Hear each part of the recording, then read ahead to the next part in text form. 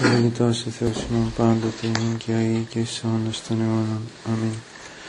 Εις πάσαν την γην εξήλθεν οφθόν κοσού, ως δεξαμένη των λόγων σου. Διού Θεό πρέπος εδογμάτισας, την φύση των όντων ετράνωσας, τα των ανθρώπων ηθικάτε κοσμήσας. Βασίλειον ιεράτευμα πατερόσιε, Χριστόν τον Θεόν νικέτευε, δωρήσαστε ημίν το Μέγα Έλεος. Χριστέ το φως των λιθινών, το φωτίζουν και γιάζουν πάντα άνθρωπον ερχόμενοι στον κόσμο, σημειωθεί το εφημάς το φως του προσώπου σου. Είναι ένα αυτόψο με το φως το πρόσιτον και κατέφεραν τα διαβήματα ημών προς εργασία των εντολών σου. Πρεσβείες Παναχράντου σου Μητρός και πάντως των Αγίων. Αμήν. Καθίστε. Λοιπόν,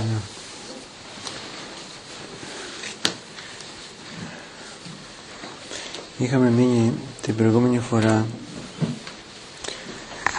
για τον άνθρωπο και το προορισμό του με βάση τον Άγιο τον Γέροντα Πορφύριο στο σημείο που ε, αναφερόμαστε το ποιος είναι αυτός ο προορισμός και είπαμε ότι ο προορισμός είναι ε, το καθομοίωση. Δηλαδή να μοιάσουμε στον Θεό κατά πάντα εκτός της α, κατουσίαν ταυτότητας όπως λένε οι Άγιοι Πατέρες και μάλιστα ο Άγιος α, Μάξιμος ο ομολογητής. Δηλαδή έχουμε τις ίδιες ε, ιδιότητες του Θεού εκτός βεβαίως από την ουσία. Δεν παίρνουμε την ουσία του Θεού αλλά μετέχουμε σε όλες αυτές που τις λέμε ενέργειες του Θεού λέει ο, ο πατήρ Ιωστίνος Πόποβιτς ο οποίος τώρα βεβαίως είναι και Άγιος επίσημα αναγνωρισμένος και τότε ήταν αλλά δεν είχε αναγνωριστεί επίσημα.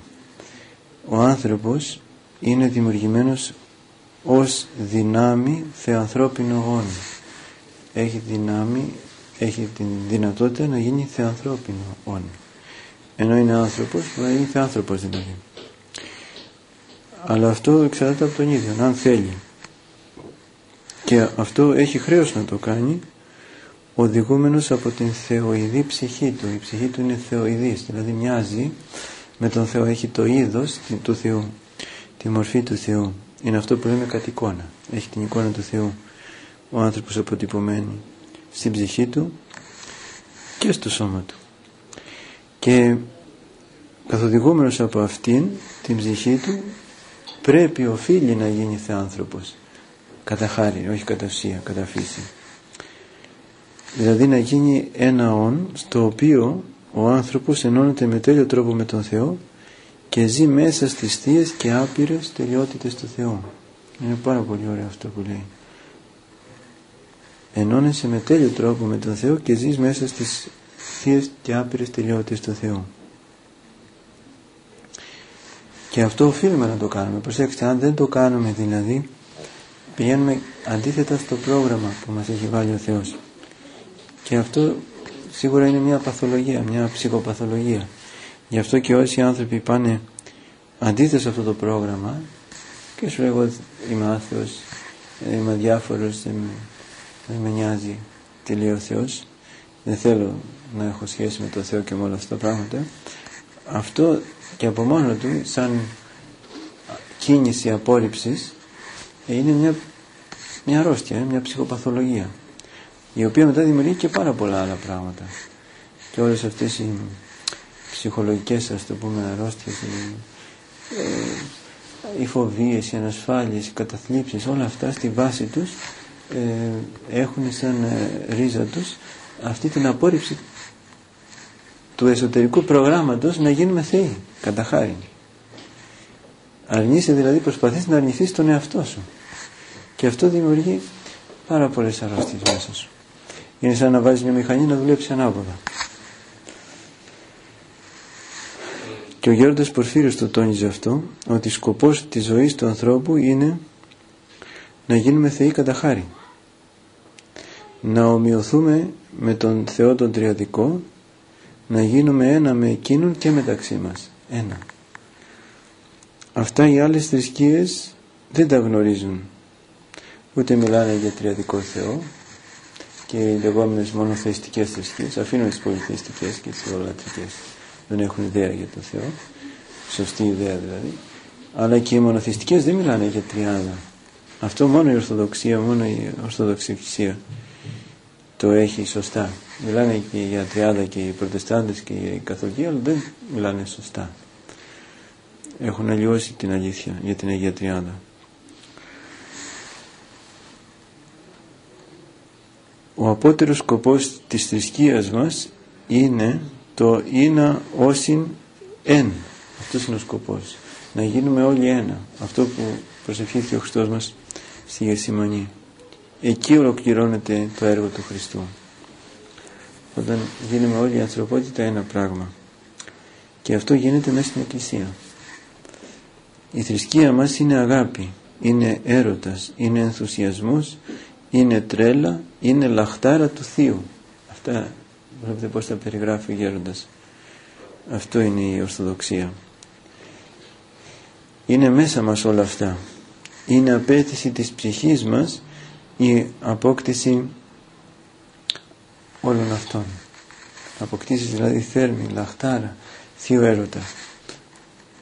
Γι' αυτό άλλωστε και υποφέρει ο άνθρωπος αν δεν κινηθεί στην κατεύθυνση της απόκτησής τους ο άνθρωπος που δεν έχει το Θείο Έρωτα είναι άρρωστος. Όσο δεν προσπαθεί να αγαπήσει τον Θεό, τόσο γεμίζει με τα λεγόμενα ψυχολογικά και υπαρξιακά προβλήματα. Λέει πάλι ο πατήρ Ιωστίνος, ο Άγιος Ιωστίνος τώρα. Κάθε τι ανθρώπινο μέχρι να επιστρέψεις στον Θεάνθρωπο, μέχρι να λογοποιηθεί και να θεανθρωποποιηθεί, παραμένει παράλογο, ανόητο και στη βάση του απάνθρωπο. Είναι και αυτό πολύ ωραίο. Έτσι. Όλα πρέπει να επιστρέψει στο Θεάνθρωπο γιατί όλα προς τα εκεί είναι προγραμματισμένα να πορευθούν. Διού και διόν τα πάντα έκτιστε. Διαμέσου του Χριστού και για τον Χριστό έχουν γίνει τα πάντα. Ό,τι λοιπόν δεν κινείται, δεν έχει μέχρι τώρα φτάσει εκεί, είναι παράλογο, είναι ανόητο και είναι και απάνθρωπο. Γι' αυτό βλέπετε, αν ζεις μακριά από τον Χριστό, δεν ζεις ας πούμε μια ουδετερότητα, ζεις μια απανθρωπιά, ε, μια δυστυχία. Αν δεν κινηθείς λοιπόν προς τον Χριστό, που είναι το φως, είσαι μέσα στο σκουδάδι αν δεν κινηθείς προς τον Θεάνθρωπο είσαι μέσα στην απανθρωπιά. Δεν είσαι άνθρωπος απλώς δεν μπορείς να παραμείνεις άνθρωπος γίνεσαι απάνθρωπος.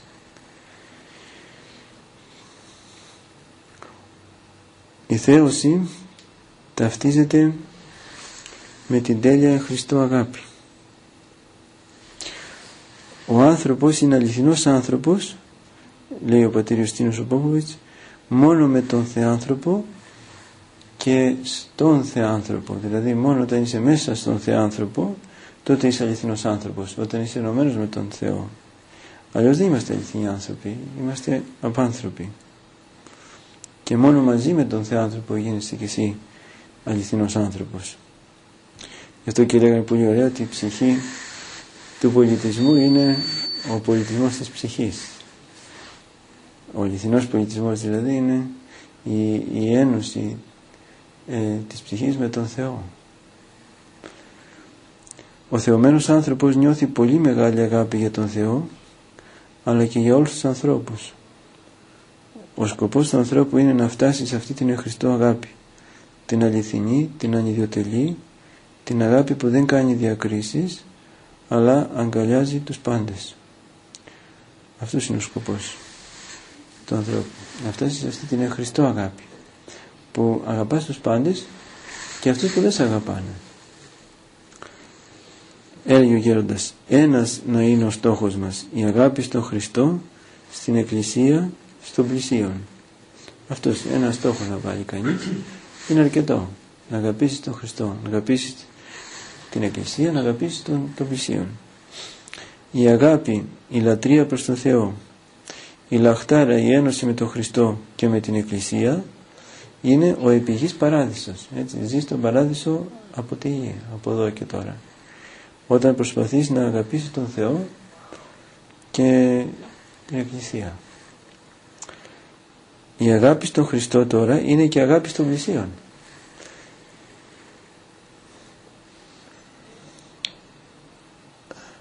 λέει ο Γέροντας και αγάπη προς όλους ακόμα και προς τους εχθρούς. Ο χριστιανός πονάει για όλους. Θέλει όλοι να σωθούν. Όλοι να γευθούν τη Βασιλεία του Θεού. Αυτός είναι ο χριστιανισμός. Μέσω της αγάπης προς τον αδελφό αγαπάμε την Εκκλησία άρα τον Χριστό. Μέσα στην Εκκλησία είμαστε και εμείς. Άρα όταν αγαπάμε την Εκκλησία αγαπάμε και τον εαυτό μας. Και όσο κανείς προσπαθεί να εξυπηρετήσει τους άλλους στα πράγματα επάνω βλέπει ότι εξυπηρετείται και ο ίδιος όταν αγαπάς και ανοίγεις τον άλλον. Και θες να προοδεύσει ο άλλος προοδεύσει και εσύ μετά. Και σου λύνονται και τα δικά σου προβλήματα. Γιατί ακριβώς είσαι και εσύ ένα κομμάτι της Εκκλησίας. Όταν ο άνθρωπος κλείνεται στον εαυτό του και δεν αγαπάει κανέναν και δεν αγαπάει την Εκκλησία, το σύνολο των πιστών, έτσι χάνεται και ο ίδιος μετά. Γιατί και ο ίδιος είναι κομμάτι της Εκκλησίας. Προορισμός του ανθρώπου είναι να συνάψει πνευματικό γάμο με τον Χριστό διαμέσου της αληθινής αγάπης. Η ψυχή του κάθε ανθρώπου είναι προορισμένη να γίνει νύμφη του Χριστού. Έλεγε ο Γέροντας. Ο Χριστός είναι ο νυμφίος της ψυχής μας. Η ψυχή μας είναι νύφη του. Τον ακολουθεί σε όλα και στο μαρτύριο και στο Γολγοθά και στη Σταύρωση αλλά και στην Ανάσταση. Όταν φτάσουμε σε αυτή την αγάπη τότε ο Χριστός θα εγκύψει μέσα μας και θα γεμίσει την ψυχή μας. Ο Χριστός είναι ο νυμφίος, είναι ο Πατέρας, είναι το παν. Δεν υπάρχει ανώτερο πράγμα στη ζωή από το να αγαπάμε τον Χριστό. Ό,τι θέλουμε είναι στο Χριστό. Ο Χριστός είναι το παν. Όλη η χαρά, όλη η εφροσύνη, όλη η παραδεισιακή ζωή. Όλα τα μεγαλεία έχουμε όταν έχουμε τον Χριστό μέσα μας. Η ψυχή που είναι ερωτευμένη με τον Χριστό είναι πάντα χαρούμενη και ευτυχισμένη. Όσους σκόπους και θυσίες και αν της κοστίσει αυτό. Λέει στο άσμα ασμάτων η νύμφη για τον νυμφίο Χριστό.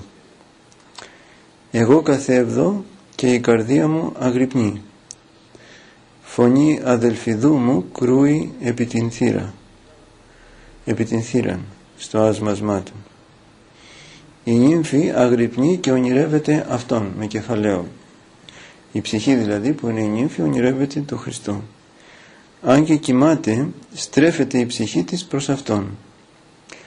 Εκφράζει έτσι την αγάπη της και την πλήρη αφοσίωσή της. Τον έχει συνεχώς στο νου της, στην καρδιά της, ακόμα και στον ύπνο. Τον λατρεύει. Καταλάβατε; Η λατρεία να γίνεται εξ όλης της ψυχής και εξ όλης της καρδίας.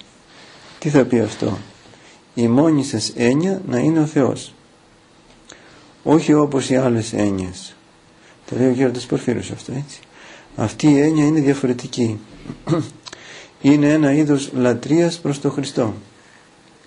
Αυτή είναι η έννοια που θέλει και ευχαριστεί. Δεν είναι κάτι που γίνεται αγκάρια. Νιώθετε μια ευχαρίστηση και ειδονή πνευματική. Δεν είναι όπως το μάθημα που διαβάζει το παιδί για να πάει στο σχολείο. Είναι όπως ο έρωτας μεταξύ δύο ανθρώπων αλλά ανώτερος και πνευματικός έτσι αυτή η λατρεία προς τον Θεό είναι μια ολοκληρωτική αφοσίωση στο Χριστό. Αυτός ο Θείος έρωτας κάνει τον άνθρωπο ανίκανο να αρμαρτήσει και αυτό είναι το φυσιολογικό μας έτσι να μην αμαρτάμε. Όποιος αγαπάει τον Θεό εξ όλης της ψυχής και εξ όλης της καρδίας, εξ όλης της διανοίας, εξ όλης της ισχύος μένει εν αυτό. Και όπως λέει ο Άγιος Ιωάννης ο Θεολόγος, πας ο εν αυτό μένον ούχα μαρτάνει. Έτσι είναι πολύ σημαντικό αυτό χωρίο στο, στην πρώτη καθολική επιστολή του Ιωάννου. Τρίτο κεφάλαιο, έκτο στίχος. Κάθε ένας που μένει μέσα στον Χριστό δεν αμαρτάνει. Όταν λοιπόν με όλη την καρδιά έχεις δοθεί στον Χριστό, είσαι μέσα στον Χριστό και δεν αμαρτάνεις. Αυτός έχει γεννηθεί από τον Θεό.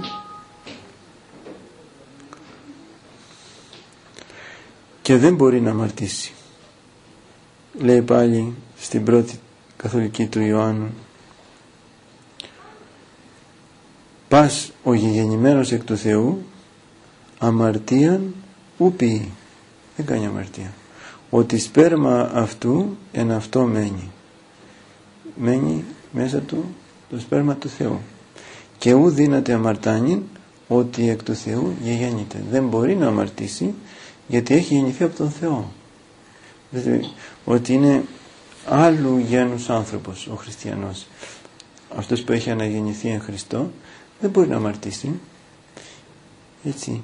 Γιατί εκ του Θεού γεγέννηται πολλοί αντιμετωπίζουν ένα δίλημα γάμος ή μοναχισμός και σε ρωτάνε και λέει πάτε τι να κάνω να πάω στο και ίσως είναι και μια υπεκφυγή αυτή σου λέει να μην πάρω εγώ την απόφαση να, να την πάρει ο πνευματικός μου Μα εσύ πρέπει να την πάρεις. Αλλά αυτό τελικά είναι ψευτοδήλημα. Γιατί προορισμός του ανθρώπου δεν είναι ούτε ο γάμος ούτε η κατά Χριστόν αγαμία ούτε ο μοναχισμός. Αλλά ποιος είναι ο προορισμός του ανθρώπου; Είναι το καθομοίωση. Έτσι. Να τον αγαπήσεις δηλαδή τον Θεό. Αυτό είναι. Να αγαπήσεις τον Χριστό εξ όλης ψυχής και καρδίας και διανοίας. Τώρα ο τρόπος που θα το κάνεις είναι δικός σου. Εσύ θα δεις ποιο είναι αυτό που σου ταιριάζει περισσότερο. Άλλος διαλέγει το μοναχισμό, άλλος διαλέγει το γάμο, άλλος διαλέγει την αποστολή, άλλος διαλέγει να πηγαίνει σε νοσοκομείο, σε φιλανθρωπικά ιδρύματα. Όλα ευλογημένα είναι. Ο τρόπος αφήνεται στον άνθρωπο. Αλλά το ζητούμενο, το τελικό είναι αυτό, να αγαπήσουμε τον Θεό. Ο γέροντας ήταν πραγματικά ελεύθερος από όλες τις α, κοσμικές εντός εισαγωγικών σταθερές τις προκαταλήψεις και τα στερεότυπα. Έλεγε λοιπόν ότι δεν υπάρχουν ε, μόνο δύο δρόμοι γιατί είναι και αυτή μια αντίληψη που κυκλοφορεί σου λέει γάμος ή μοναχισμός δεν έχει τίποτα άλλο όχι γιατί; Δεν υπάρχουν μόνο δύο δρόμοι. Σώζεται και ο άγαμος μένοντας στο σπίτι. Δηλαδή όλοι αυτοί που μείναν ανήπατοι και δεν γίνανε και μοναχοί τι είναι αυτοί στην κόλαση θα πάνε όχι. Και αυτοί μπορούν να σωθούν όταν τηρούν το θέλημα του Θεού και αγαπάνε τον Χριστό.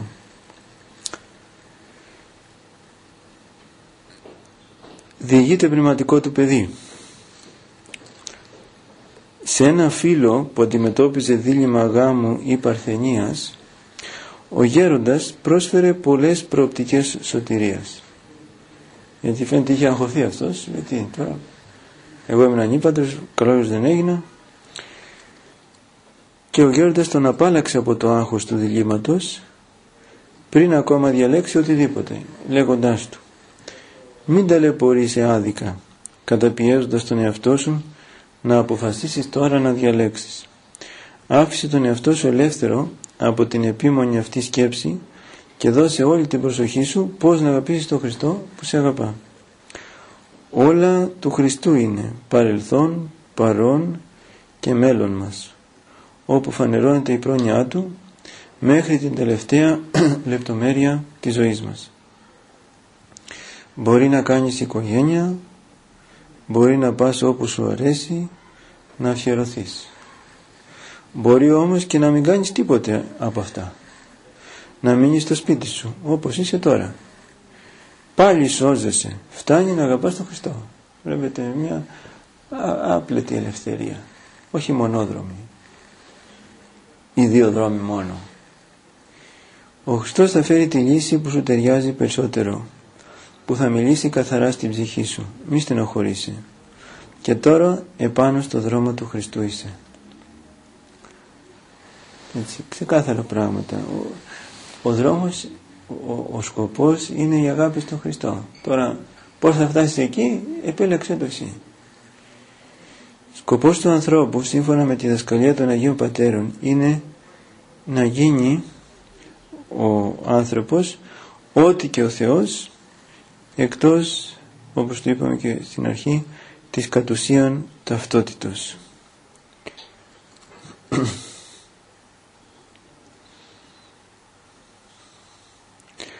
Λέει ο Άγιος Μάξιμος ότι της επί το Θεοθήνε των άνθρωπων μυστικής ενεργείας λείψεται πέρας κατά πάντα τρόπον χωρίς μόνης δηλωνότη της προς αυτόν κατ' ουσίαν ταυτότητος. Έχει πάρει όλη την μυστική ενέργεια ο άνθρωπος που χρειάζεται για να θεωθεί και να πετύχει μέχρι τέλους αυτό το σκοπό χωρίς μόνο την κατ' ουσίαν ταυτότητα. Όλα τα άλλα μπορεί να τα πετύχει ο άνθρωπος και να μοιάσει κατά πάντα με τον Θεό. Έτσι, αυτό είναι πολύ μεγάλο και πολύ έτσι, ε, τιμητικό για τον άνθρωπο. Να μας έχει δώσει Θεός αυτή τη δυνατότητα να του μοιάσουμε κατά πάντα. Ναι. Έρχεται η Αγία Γραφή λέει ότι κι αν ακόμα η ζωή του ανθρώπου είναι μια μέρα στη γη θα αμαρτήσει. Και λέει πας άνθρωπο, ε, κάπου άλλο πάλι λέει παν, πας άνθρωπος ψεύτης. Ε, Αυτό πώς δεν είναι σαν ίδια στο με αυτά ότι δεν μπορεί να αμαρτήσει. Ναι, όταν ζεις στη γη, αλλά όταν ζει μέσα στο Χριστό δεν αμαρτάνει. Κατάλαβες. Όταν ζεις μέσα στον Χριστό, όπως είπε εδώ ο Άγιος Ιωάννης, δεν αμαρτάνεις. Όταν ζεις στη γη, είσαι ακόμα δηλαδή στα πάθη, ναι, εκεί αμαρτάνεις βέβαια. Έτσι. Οπότε ο σκοπός μας είναι να γίνεις και εσύ και ο κάθε άνθρωπος άκτιστος, αιώνιος, Θεός κατά χάρη. Αυτή η διδασκαλία του Πάτερ Πορφύριου είναι κατά πάντα σύμφωνη με αυτή όλων των Αγίων. Η θέωσή μας από αυτή τη ζωή και όχι μόνο στα έσκατα προβάλλει ως ο σκοπός της ύπαρξής μας. Κοιτάξτε πώς το λέει ο Γέροντας ο Θεός εν τη απείρο αγάπη Του μας ένωσε πάλι με την Εκκλησία Του στο πρόσωπο του Χριστού. Γιατί μας είχε βάλει αρχικά στην Εκκλησία Του που είναι η Αγία Τριάδα αλλά εμείς φύγαμε με την παρακοή. Και μας ξαναβάζει τώρα διαμέσου του Χριστού. Με την ενανθρώπιση δηλαδή και το έργο της Θείας Οικονομίας μπορεί πάλι ο άνθρωπος να μπει μέσα στην Εκκλησία του Θεού, της Αγίας Τριάδος.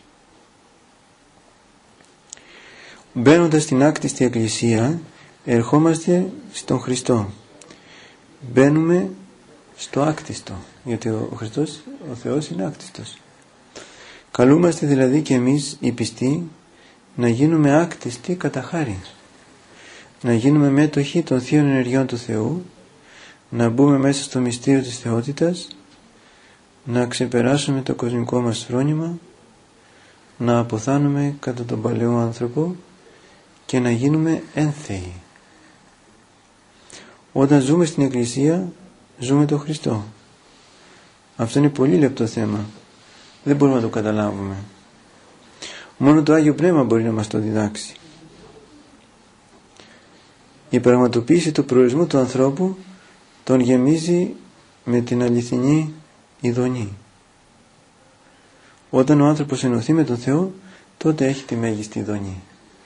Έτσι, ο διάβολος μας προβάλλει άλλου είδους ειδονές αρκικές, πολύ φτηνές και πολύ φευγαλές. Ενώ η αληθινή ειδονή είναι αυτή που δίνει ο Θεός και η, πιο μεγάλη ειδονή. Έλεγε χαρακτηριστικά ο γέροντας. Αν θες πες τους να κάνουν λίγο πιο σιγά να μιλάνε έξω, λίγο πιο σιγά. Ο Θεός είναι τον τελείων ιακρότης, το άκρο αγαθό. τα έχει όλα αυτά η ένωση με τον Θεό. Το ακρότατο αγαθό, το κορυφαίο αγαθό είναι ο Θεός. Μια πλήρης ευχαρίστηση γίνεται με αυτή την ένωση. Καμιά άλλη δονή δεν είναι πιο πάνω από εκείνη που δίνει η ένωση με τον Θεό. Όλα αυτά γίνονται ε, με τη Θεία Βοήθεια. Και ο άνθρωπος πράγματι έχει τη μέγιστη δονή και αυτό είναι ξέρετε που κρατάει στην έρημο ας πούμε τις ασκητές. Αυτή η μέγιστη δονή που ζουν ε, όντας μέσα στον Θεό. Ο άνθρωπος πλάστηκε δυνάμει αθάνατος. Δυνάμει δηλαδή είχε τη δυνατότητα να μην πεθάνει ποτέ αν έκανε υπακοή. Μπαίνοντας στην εκκλησία γίνεται ενεργία αθάνατος πραγματικά γίνεται αθάνατος και αιώνιος. Έλεγε ο γέροντας Πορφύριος όποιος μπαίνει στην εκκλησία σώζεται. Γίνεται αιώνιος. Μια είναι η ζωή. Είναι ατέλειωτη συνέχεια. Δεν έχει τέλος. Δεν υπάρχει θάνατος έτσι, υπάρχει μια ας το πω έτσι υποβόσκουσα αντίληψη μέσα μας και στον κόσμο ότι ο θάνατος είναι και η εξαφάνιση. Δεν είναι εξαφάνιση ο θάνατος. Είναι το τέλος, δεν είναι το τέλος. Γιατί η, η, η αιωνιότητα, η ζωή είναι αιώνια. Η ψυχή αιώνια θα ζήσει. Είτε το θέλουμε είτε δεν το θέλουμε θα υπάρχουμε για πάντα. Ο θάνατος είναι απλό ένα επεισόδιο, ένας μεγάλος ύπνος. Σαν να κοιμήθηκες παραπάνω ας πούμε. Πως συμβαίνει καμιά φορά να κοιμηθούμε παραπάνω. Ε, ε, εκεί κοιμάσαι λίγο ακόμα και εγώ πιο παραπάνω. Τίποτα άλλο δεν είναι η, η, η ζωή είναι ενιαία. Και το θέμα είναι ότι η αιώνια αυτή ας το πούμε κατάσταση εξαρτάται από αυτά τα λίγα χρόνια που θα ζήσεις τώρα εδώ. Μέχρι να έρθει αυτό το επεισόδιο. Και αν τα ζήσεις μέσα στην εκκλησία ε, τότε έχεις αυτή την, ε, την πολύ μεγάλη ειδονή την άπειρη αυτή ειδονή που είναι ο ίδιος ο Θεός και ζεις ας πούμε αθάνατα ευτυχισμένος. Αιώνια ευτυχισμένος. Όποιος ακολουθεί τις εντολές του Χριστού δεν πεθαίνει ποτέ.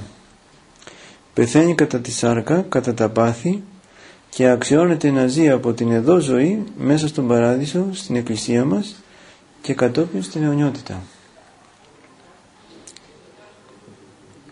Με τον Χριστό ο θάνατος γίνεται η γέφυρα που θα την περάσουμε σε μια στιγμή για να συνεχίσουμε να ζούμε εν το ανεσπέρο φωτί. Έτσι, ο θάνατος είναι απλώς η γέφυρα για το φως. Άρα είναι και επιθυμητός και όχι απευκταίος όπως είναι για πολλούς ανθρώπους που μόλις πήλυσαν για θάνατο αρχίζουν και χτυπάνε τα ξύλα. Ο άνθρωπος πλάστηκε ελεύθερος.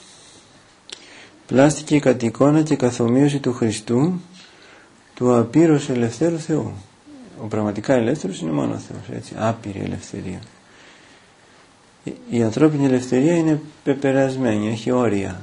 Δεν μπορείς να πετάξεις ας πούμε από μόνος σου.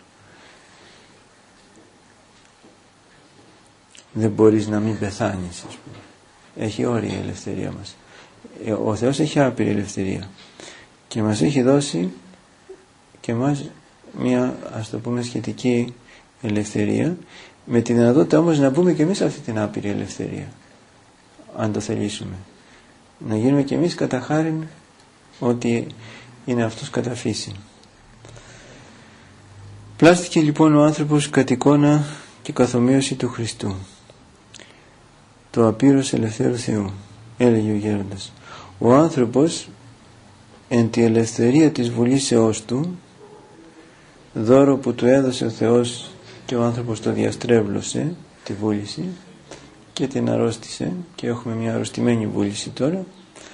Αυτός ο άνθρωπος μπορεί να ενεργεί αυτοβούλος. Από το πόσο ο άνθρωπος θα χρησιμοποιήσει αυτή την ελευθερία του θα εξαρτηθεί αν θα είναι στη ζωή ή στο θάνατο. Κόλαση είναι η μία αγάπη. Αυτό είναι κόλαση και γι' αυτό και έλεγε ο, ο Ντοστογεύσκη ότι κόλαση είναι το μαρτύριο το να μην μπορείς να αγαπάς έχει τόσο διαστρεβλωθεί η ψυχή σου που δεν μπορείς να αγαπήσεις.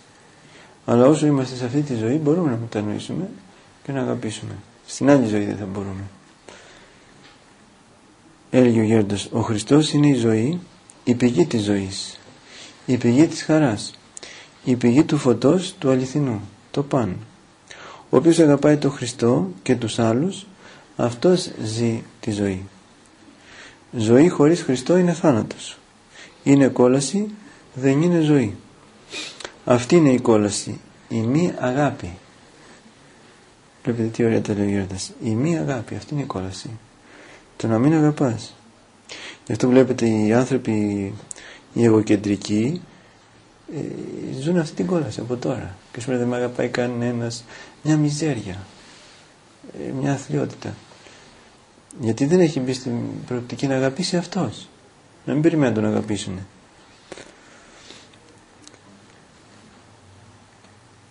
Ζωή είναι ο Χριστός. Η αγάπη είναι η ζωή του Χριστού. Όταν αγαπάς τότε ζεις τη ζωή του Χριστού. Γιατί ο Χριστός αυτό έζησε.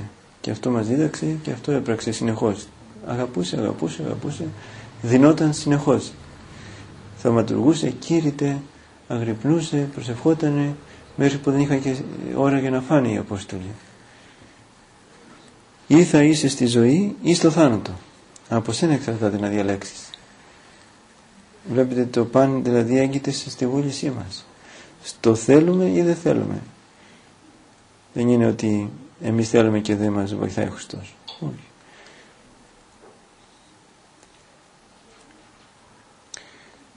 Μέχρι εδώ μήπως θέλετε κάτι να ρωτήσετε πριν πάμε σε ένα άλλο κεφάλαιο για την ε,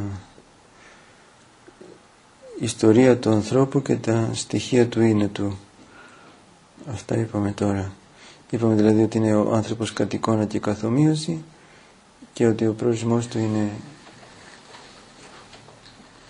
το να ομοιάσει τον Θεό, του στην αγαπήσει τον Θεό εξ όλης ψυχής και καρδίας και ότι αυτό πρέπει να το κάνει ο ίδιος, αυτοβούλος δηλαδή, γιατί έχει φτιαχτεί ελεύθερος και πρέπει να αξιοποιήσει αυτή την ε, ελευθερία και να κινηθεί προς τον Θεό. Αν δεν υπάρχει κάτι να δούμε τη δομή του ανθρώπου, τα συστατικά στοιχεία, τις λειτουργίες και τις αλληλεπιδράσεις που υπάρχουν. Ανάμεσα στην ψυχή και στο σώμα και στην ψυχή και στο περιβάλλον. Πρώτα απ' όλα, ο άνθρωπος είναι όπως λέει και ο Γέροντας μια ψυχοσωματική ενότητα και αυτό το λένε και οι ψυχολόγοι σήμερα και οι ψυχίατροι και λοιπά και η σύγχρονη επιστήμη το λέει αλλά εμείς το ξέρουμε από πολύ παλιά από τους πατέρες της Εκκλησίας είναι όπως λένε οι πατέρες το συναμφότερον. Είναι σώμα και ψυχή. Είναι ψυχοσωματικό που σημαίνει ότι η ψυχή δεν αποτελεί τον όλο άνθρωπος. Και η ψυχή δεν είναι άνθρωπος αλλά ούτε και το σώμα συνιστά τον όλο άνθρωπος. Και το το σώμα. Και το σώμα είναι ένα πτώμα έτσι, χωρίς την ψυχή. Ούτε αυτό είναι άνθρωπος. Η ενότητα η ψυχοσωματική είναι άνθρωπος και αυτό είμαστε. Το σώμα επηρεάζει την ψυχή και η ψυχή επηρεάζει το σώμα. Γι' αυτό έλεγε ο γέροντας ότι πρέπει και το σώμα να συμμετέχει στον αγώνα της ψυχής για τη σωτηρία. Και θα πρέπει να βοηθάει την ψυχή και να εκφράζει την ψυχή. Εκφράζει τη μετάνοιά σου με το σώμα τη μετάνοια της ψυχής. Και ασκούν, ασκώντας το σώμα ταπεινώνοντας το σώμα λεπτύνοντας το σώμα ταπεινώνεται και η ψυχή. Επηρεάζεται η ψυχή. Η προσευχή για παράδειγμα έλεγε ο Γέροντας θα πρέπει να συνοδεύεται με μετάνοιες. Να μην είναι απλώς μια πνευματική προσευχή μόνο με το πνεύμα δηλαδή. Αλλά θα πρέπει να έχει και σωματική συμμετοχή. Όταν κάνεις μετάνοιες έλεγε ο Γέροντας ωφελείσαι διπλά γιατί είπαμε είμαστε ενότητα ψυχοσωματική οι μετάνοιες ωφελούν την ψυχή αλλά παράλληλα και το σώμα εκείνου που τις κάνει. Γιατί ταπεινώνεις στο σώμα, ταπεινώνει την ψυχή, έρχεται η χάρη του Θεού. Αλλά έρχεται και η υγεία στο σώμα. Αρκεί αυτές να μην γίνονται για το δεύτερο, δηλαδή για το σώμα. Μην τις κάνεις σαν γυμναστική δηλαδή. Και η μεν ψυχή ωφελείται γιατί με τον τρόπο αυτό ζητάει τη συγχώρηση και το έλεος του Θεού. Το δε σώμα, διότι χωρίς να το ξέρει ο πολύς ο κόσμος, ασκούνται κατά τον πλέον άριστο τρόπο η κοιλιακή μίαση. Ήξερε και η ιατρική ο Γέροντας.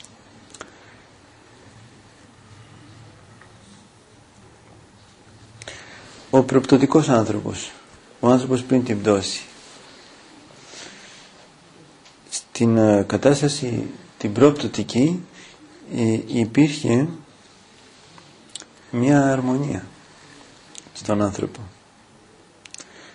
Έτσι λέει ο Γέροντας. Μέσα στην ψυχή του ανθρώπου, του προπτωτικού υπήρχε η αρμονία. Στην αρχαία γονή ψυχική μας κατάσταση υπήρχε αυτή η αρμονία γι' αυτό και ορισμένοι άνθρωποι που λέμε ότι έχουν χάρισμα συμβαίνει διότι είναι απλοί και βγαίνει το αρχαίγωνο. Είναι απλοί δεν έχει διαστρεβλωθεί η ψυχή τους και προβάλλουν κατά κάποιο τρόπο την πρόπτωτική ψυχή που υπήρχε στους ανθρώπους. Και γι' αυτό λέμε έχουν χάρισμα γιατί όντως είχε χάρισμα το Αδάμ πριν πέσει. Ήταν προφήτης έτσι είχε το διορατικό. Έδινε, ήταν σοφός έδινε ονόματα στα ζώα. Και αυτά τα βλέπεις και σήμερα και λέει ότι είναι από αυτό. Βγαίνει το αρχαίγωνο το, το αρχικό κάλος η αρχαία ομορφιά που είχαν οι άνθρωποι είχαν οι άνθρωποι πριν την πτώση. Είμαστε στην αρμονία. Τώρα έχουμε πέσει στην δυσαρμονία και ευχαριστιόμαστε σε αυτή και, και είναι χαρακτηριστικό το γεγονός ότι ε, η μουσική όσο πάει γίνεται όλο και πιο άγρια χάνει την αρμονία της και παράφωνη και λοιπά και αυτό ακριβώς εκφράζει την αλωτρίωση που έχουμε στην ψυχή μας οι σύγχρονοι άνθρωποι και το έχει εντοπίσει ο Γέροντας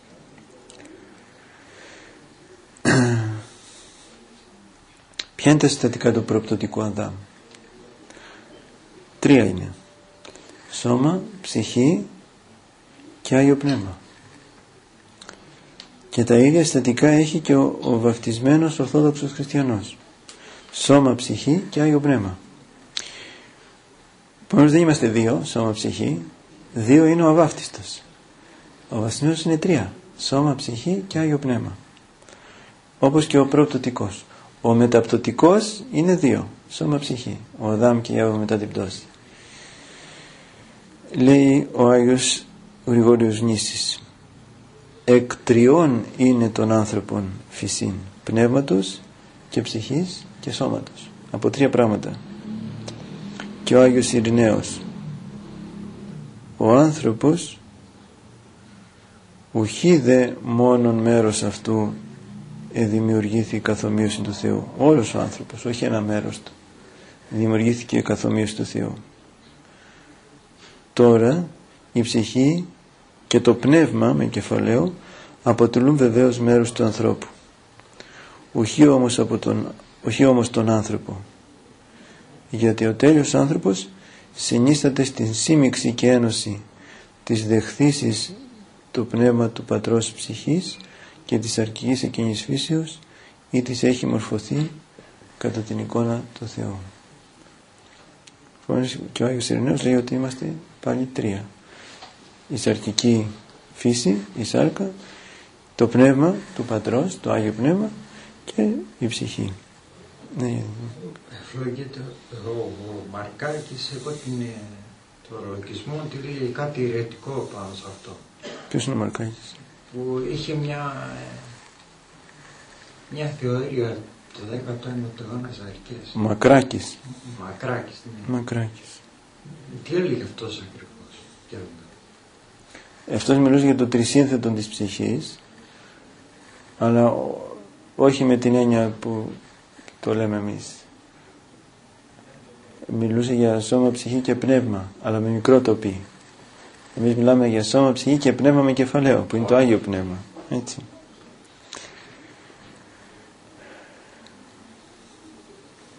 Ήταν κληρικός ε, ναι, ε, λαϊκός ήταν. Λαϊκός. Έλεγε λοιπόν ο Γέροντας σου συνιστώ να κάνεις μετάνοιες όσο μπορείς περισσότερες πάνω στο θέμα που είπαμε ότι είμαστε ψυχοσωματική ενότητα.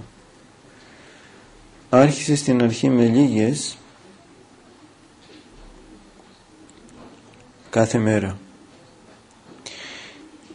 και κάθε μέρα που περνάει να προσθέτεις και από ένα σταθερό αριθμό μέχρι να φτάσεις σε ένα σημείο που εσύ θα νομίζεις ότι αντέχεις. Εξάλλου ο ίδιος ο οργανισμός μας προειδοποιεί για τα όρια αντοχής του και ανάλογα καθορίζουμε και τον αριθμό των μετανιών μας. Ύστερα δεν είναι υποχρεωτικό οπωσδήποτε να φτάσουμε καθημερινά τον ίδιο αριθμό. Αυτό θα εξαρτηθεί από πολλούς παράγοντες όπως είναι η ψυχική διάθεση, η κούραση και τέλος η υγεία μας. Εκείνο που έχει σημασία είναι να αρχίσει κανείς αφενός και αφετέρου οι μετάνοιες να συνοδεύονται από πραγματική μεταμέλεια για τα όσα αμαρτήματα έχουμε διαπράξει και να ζητάμε με όλη τη δύναμη της ψυχής μας να μας συγχωρήσει ο Κύριος. Ακόμη θα μπορούσαμε καθόν χρόνο κάνουμε τις μετάνοιες να λέμε και το Κύριε Ιησού Χριστέ ελέησόν με. Ο συνδυασμός αυτών των δύο είναι ό,τι καλύτερο μπορεί να γίνει. Και ο Κύριος όχι μόνο θα μας ακούσει αλλά και θα μας συγχωρήσει όταν μάλιστα αυτό δεν το, το ζητάμε μόνο με τα χείλη αλλά από τα βάθη της ψυχής μας.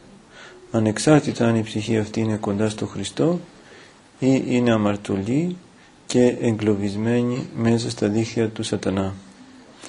Γιατί όπως όλοι μας έχουμε υπόψη μας, ο Ιησούς δεν σταυρώθηκε για τους πιστούς και αναμάρτητους, αλλά για τους άπιστους και αμαρτωλούς.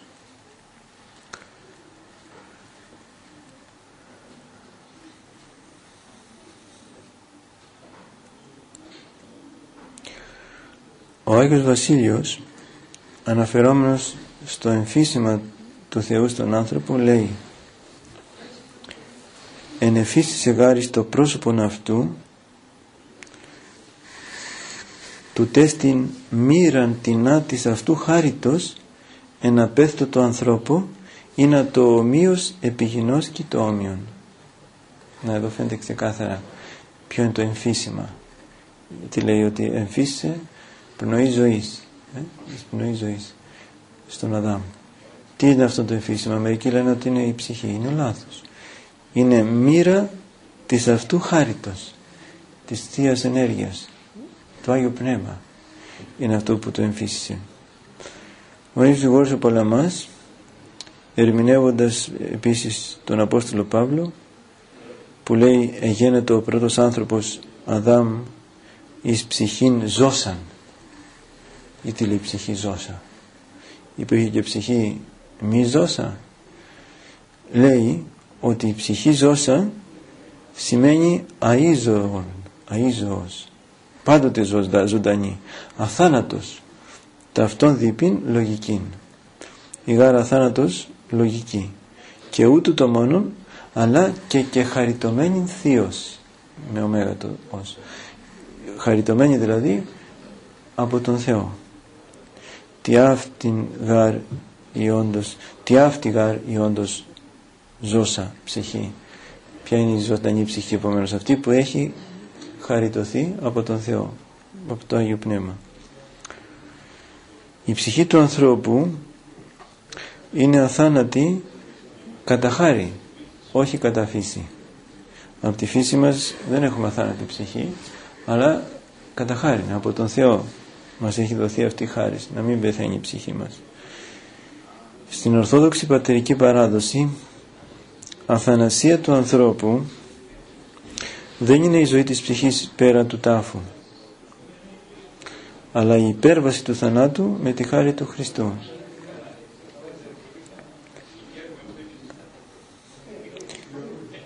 αυτό σημαίνει αθανασία. Έτσι, όχι απλώς να ζήσεις, μπορεί να ζήσεις και να πας στην κόλαση. Όταν λέμε αθανασία, εννοούμε ακριβώς αυτή την ε, εν Χριστώ ένωση, οπότε υπερβαίνει το θάνατος. Ο αιώνιος θάνατος, που είναι ο χωρισμός από τον Θεό. Η ζωή εν Χριστώ είναι εκείνο που κάνει τον άνθρωπο αθάνατο. Χωρίς την εν Χριστώ ζωή υπάρχει νέκρωση αφού η άκτιστη χάρη του Θεού είναι αυτή που δίνει ζωή στην ψυχή. Οι πρωτόπλαστοι τι άνωθεν ήσαν δόξη εμφιεσμένοι, ήταν εντυμένοι με την άνωθεν δόξα.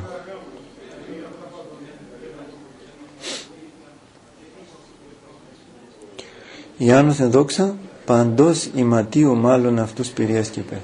Τους σκέπαζε η άνωθεν δόξα πολύ καλύτερα από κάθε άλλο ρούχο. Γι' αυτό και δεν ένιωθαν ότι είναι γυμνοί.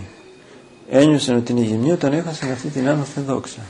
Τη χάρη του Θεού λόγω του ότι αμάρτησαν. Αυτή η άνωθεν δόξα είναι η άκτιστη ενέργεια του Αγίου Πνεύματος.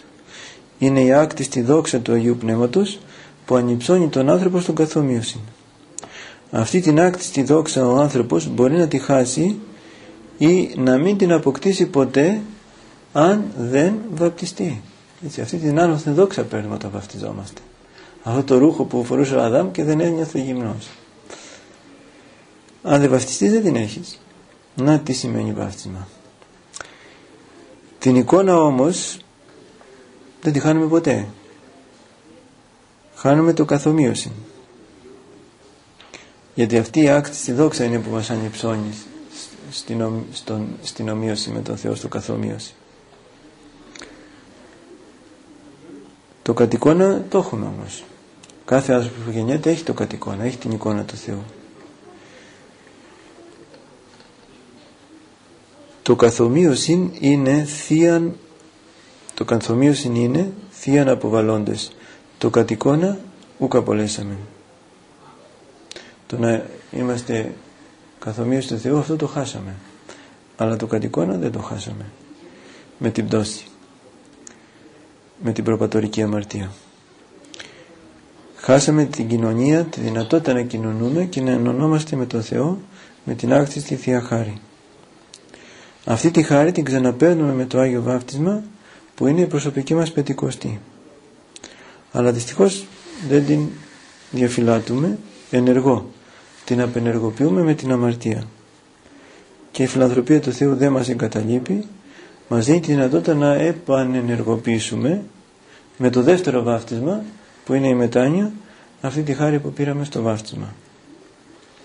Λέει ο Άγιος Σιλωανός χωρίς τη χάρη του Θεού είμαστε όμοιοι με τα ζώα αλλά με τη χάρη ο άνθρωπος είναι μέγας ενώπιον του Θεού όταν έχει τη χάρη είναι μέγας μπροστά στο Θεό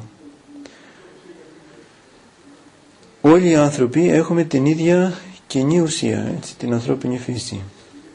Είμαστε όλοι οι άνθρωποι ένα, γιατί έχουμε κοινό πατέρα. Έχουμε την ίδια ουσία. Και έλεγε ο Γέροντας Πορφύριος, μέσα στην Εκκλησία όλοι ενσωματώνονται, μπαίνουν στο ίδιο σώμα. Γινόμαστε όλοι ένα, είμαστε όλοι ένα και ο Χριστός κεφαλή. Ένα σώμα, σώμα Χριστού. Εμείς δε εστές σώμα Χριστού και μέλη εκ μέρους, λέει ο Απόστολος Παύλος στους Κορίνθιους.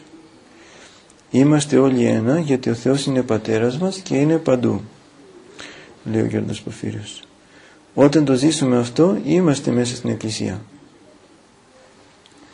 Είμαστε ένα ακόμα και με τους ανθρώπους που δεν είναι κοντά στην Εκκλησία είναι μακριά από άγνοια.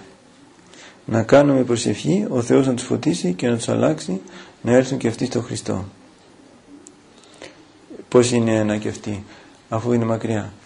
Είναι δυνάμει ένα. Έχουν και αυτή τη δυνατότητα, εάν θελήσουν να μπουν μέσα στην Εκκλησία. Γι' αυτό λέει ο Γέροντας, είμαστε ένα ακόμα και με αυτούς που ακόμα δεν έχουν μπει. Και όλους έτσι πρέπει να τους βλέπουμε, με την προοπτική να μπουν. Επειδή νιώθουμε ένα με όλους, γι' αυτό ο γέροντας έλεγε πιο πολύ θα προσεύχεστε για τους άλλους παρά για τον εαυτό σας. Θα λέτε το Κύριο Ιησού Χριστέ ελεησόν με και θα έχετε μέσα σας πάντοτε και τους άλλους. Όλοι είμαστε παιδιά του ίδιου Πατέρα, είμαστε όλοι ένα. Γι' αυτό όταν προσευχόμαστε για τους άλλους λέμε Κύριε Ιησού Χριστέ ελέησόν με και όχι ελέησέ τους. Τους κάνουμε έτσι ένα με τον εαυτό μας. Και όταν λέμε ελέησόν με, στο με βάζουμε τον άλλον, μπαίνουμε στη θέση του άλλου. Και είναι και αυτός ένας τρόπος για να αγαπήσουμε αληθινά τον άλλο σαν τον εαυτό μας, όπως μας το έχει πει ο Χριστός μας. Αυτά να μην πούμε περισσότερα. Για το ότι ο άνθρωπος είναι σώμα, ψυχή και Άγιο Πνεύμα. Αυτά τα τρία συστατικά. Μήπως κάτι θέλετε να συζητήσουμε, να ρωτήσετε πάνω σε αυτά όλα; Ναι.